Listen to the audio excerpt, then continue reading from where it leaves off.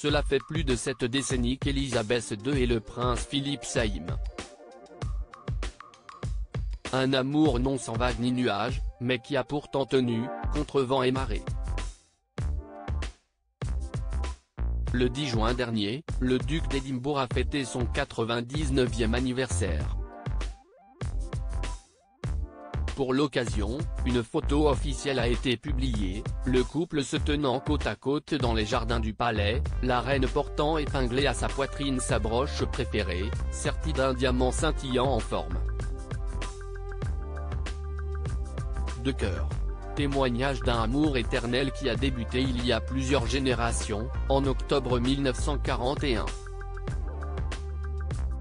Comme le relate Point de vue dans ses colonnes, selon les propres mots de la reine Marie, sa grand-mère paternelle, Lilibet est tombée amoureuse de son futur mari la première fois qu'il est venu à Windsor.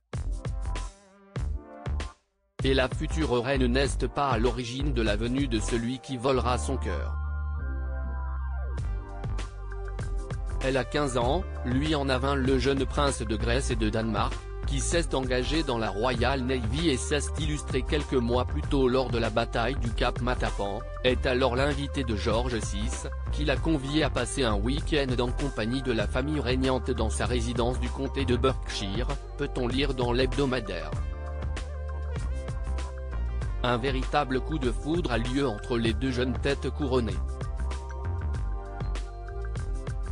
La jeune adolescente de 15 ans, qui deviendra Elisabeth II plusieurs années plus tard invite à nouveau son prince charmant, âgé de 20 ans, le décembre suivant.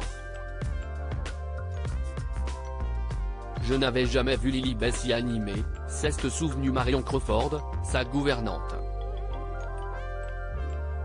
Il y avait quelque chose chez elle qui irradiait, quelque chose que nous ne lui avions encore jamais vu auparavant.